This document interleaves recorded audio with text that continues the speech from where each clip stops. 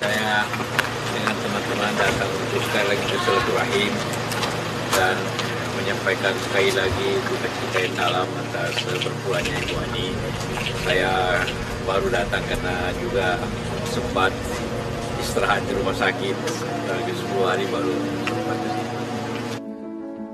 Banyak sekali di Sangat rumah banyak. sangat banyak. Di- banyak. Dalam keadaan senang dan susah kita sama-sama dengan beliau mulai di zaman Menko, kemudian zaman eh, 2004 sebagai presiden awal pada saya.